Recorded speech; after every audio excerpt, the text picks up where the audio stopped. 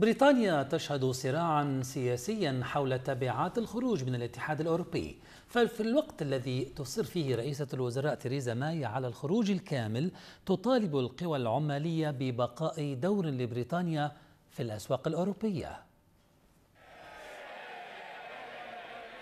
جاء قرار مجلس العموم البريطاني بالموافقة على مقترح رئيسة الوزراء البريطانية تيريزا ماي بتقديم الانتخابات العامة في البلاد من موعدها الرسمي في السابع من أيار عام 2020 إلى موعدها الجديد في الثامن من حزيران القادم عام 2017 ليضع الكثير من التحديات أمام كل من الحكومة والمعارضة العمالية على حد سواء لا سيما في قضية خروج بريطانيا من الاتحاد الأوروبي والمعروفة باسم البريكست. الأمر الذي قد تنعكس نتائجه حتى على ترتيبات حزب المحافظين في الحكم وذلك لأن تريزا ماي اقترحت هذه الانتخابات المبكرة وهي تتصور نفسها في موقع مريح وضامن لنتائجها. من أجل دخول مفاوضات إخراج بريطانيا من الاتحاد الأوروبي بوضع ثابت وقوي.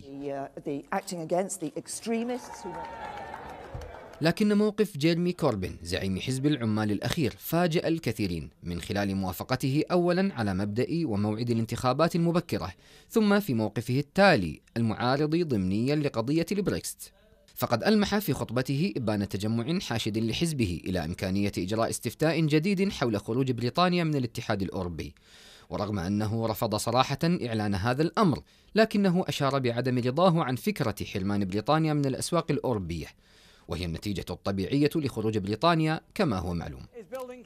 ورغم أن الناطق الرسمي باسم العمال رفض اعتبار فكرة القيام باستفتاء جديد من ضمن أهداف حزبه فإن الشكوك ظلت قائمة حول أهداف زعيم حزب العمال ونواياه تجاه البريكست.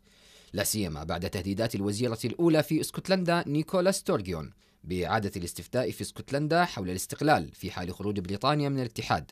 بالإضافة إلى مشكلة جبل طارق المستعمرة البريطانية التي أثارتها إسبانيا باعتبار أن معظم سكانها يؤيدون البقاء في الاتحاد خلافا لرغبة بريطانيا.